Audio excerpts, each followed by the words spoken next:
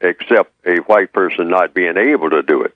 A disabled white person, meaning you don't know your colors. See, in other words, you have to know the difference between one color and another in order to be a white supremacist. Now, a person who might you might say has lost his or her mind and does not know one color from another, that white person, even though the person is white, cannot be a white supremacist because an absolute requirement of a white supremacist, first of all, is that you have to know one color from another, particularly when it comes to people.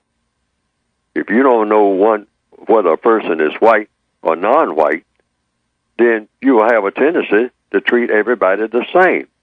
The white supremacist is duty bound not to treat everybody the same. You're duty bound that if a person has color in his or her skin, but under the system of white supremacy, you are duty bound to do harm to that person.